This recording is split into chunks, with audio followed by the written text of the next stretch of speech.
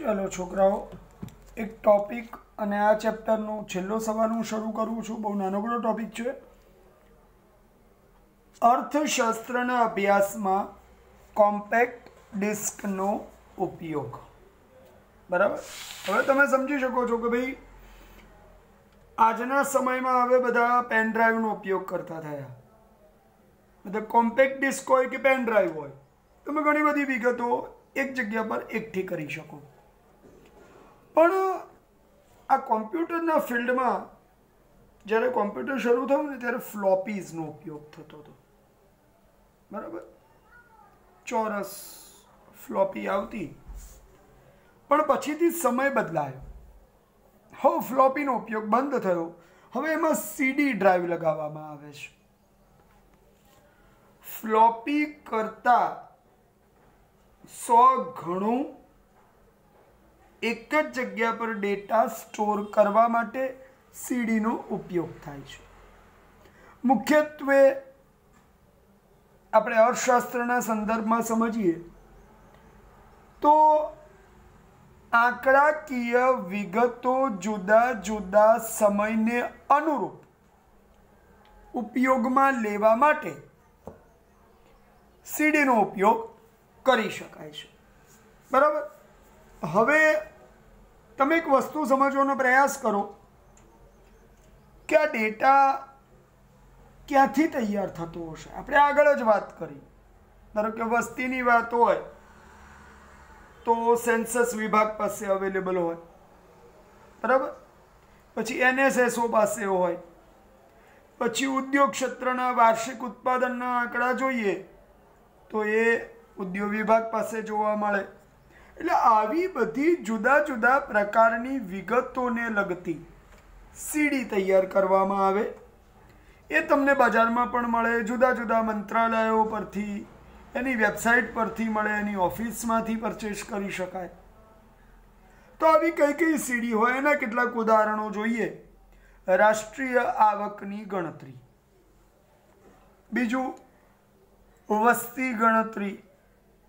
ત્રીજું ઉદ્યોગોનો એક વર્ષ, ત્રણ વર્ષ, પાંચ વર્ષ, દસ વર્ષનો સર્વે અને એનએસએસઓની સીડી. આવી જુદી જુદી પ્રકારની સીડી તમને મળે.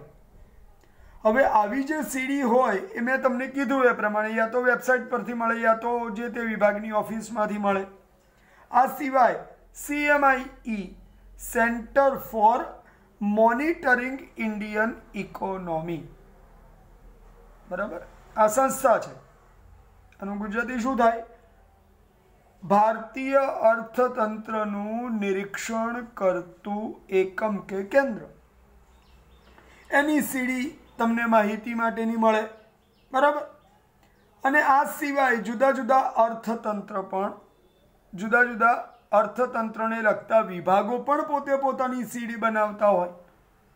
તો એવા બધા સોફ્ટવેર પણ અવેલેબલ હોય છે. અચ્છા, હવે સવાલ એ આવે છે કે આ સીડી જે હોય, એ તમે વિગત તમે પરચેસ તો કરો, પણ સામાન્ય રીતે શું છે કે માણસો પોતે એક એક માણસને બધું કંઈ ડેટા એટલો બધો કામ લાગે નહીં. એટલે એ શું કરે કે પોતાની વેબસાઇટ પર આ બધા આંકડા મૂકે. પણ આ ડેટા કોઈક તો પરચેસ કરતું હશે ને. તો જેને સર્ચ કરવાનું હોય રિસર્ચ કરવાનું હોય ડેટા કલેક્ટ કરીને એના પરથી પોતે યોજનાઓ તૈયાર કરવાની હોય, સંશોધન સંસ્થાઓ અને જુદી જુદી કંપનીઓ આ સીડી પરચેસ કરે. અને એના પરથી પોતાનું કામ આગળ ચલાવે. અચ્છા, હવે આ આખી પ્રવૃત્તિમાં ક્યાંક મુશ્કેલીઓ કઈ કઈ આવે? બે માર્કમાં ક્યારેક પૂછાય કે ભાઈ કોમેન્ટ્સ કંઈક કોમ્પેક્ટ સીડી ના ઉપયોગમાં ઉદ્ભવતા ભય સ્થાનો કે મુશ્કેલીઓ. તો પહેલી મુશ્કેલી તો એ છે કે ભાઈ સીડીની જાળવણી ઘણીવાર મુશ્કેલ પડે. જો વાયરસ લાગી જાય તો સીડી તમને કામ ના લાગી શકે. પણ આજના સમયમાં તો કોમ્પ્યુટરમાં હવે વાયરસ સ્કેનિંગ પણ થતું હોય છે. બરાબર? પણ છતાં સીડીને વાયરસ લાગવાનો એક ભય છે. નંબર એક. બીજું, સીડીમાં એણે આંકડા આપ્યા છે. હવે જો તમે અંદરની વિસ્તૃત માહિતી ના જાણતા હો તો આંકડા પરથી તમે સીધો ડેટા કલેક્ટ કરીને ઉપયોગમાં લઈ શકો નહીં. તો એની બીજી મુશ્કેલી શું? આપણે માટે ઉપયોગી આંકડા શોધવાની તકલીફ કઈ?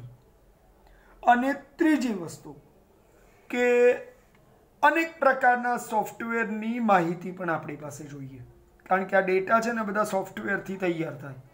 એમાં કલેક્ટ થાય અને એને પ્રોપર રીતે મૂકવામાં આવે. તો ખેર, વેબસાઇટ પરથી ઉપલબ્ધ હોય, પણ તમે સીધો એની સીડીનો ઉપયોગ કરી શકો નહીં. બરાબર? તો આ ત્રણ ચાર વસ્તુ અહીંયા ધ્યાન રાખવી પડે.